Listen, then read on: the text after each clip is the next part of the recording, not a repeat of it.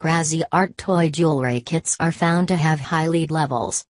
The New York State Attorney General said on Friday that his office had opened an investigation into how toys with dangerously high levels of lead ended up for sale at retailers including Target, Kmart and Toys R Us. The Attorney General, Eric T. Schneiderman, said that some jewelry making sets from the arts and crafts brand Cra-Z-Art contained as much as 10 times the amount of lead permitted by federal child safety limits. Mr. Schneiderman's office said that one or more of the products was also sold at other retailers, including Amazon and Walmart, and called on all the retailers to immediately remove them from their shelves.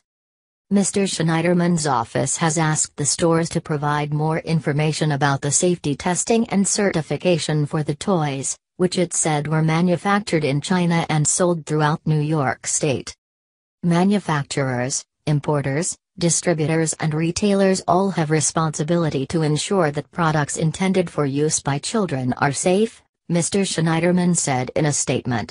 My office's discovery of high lead products on store shelves in New York points to an alarming breach in the safety net that is supposed to protect our children from dangerous chemicals.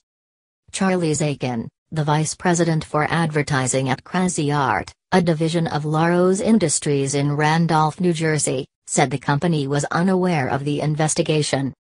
However, the safety of our products is our highest priority, Mr. Zakin said, adding that all of the items in question had passed rigorous safety testing and conformed to all regulatory standards. In a statement, Walmart said that it required suppliers to meet all applicable safety standards. Target and Toys R Us said they were looking into the matter, and Kmart said it would cooperate with any investigation. Target and Kmart affirmed their commitment to safety, and representatives for Amazon could not be reached for comment.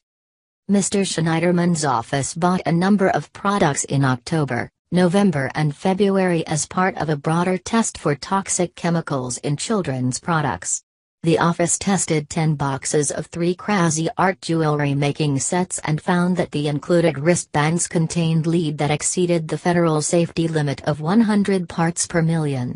Some contained as much as 980 parts per million per million.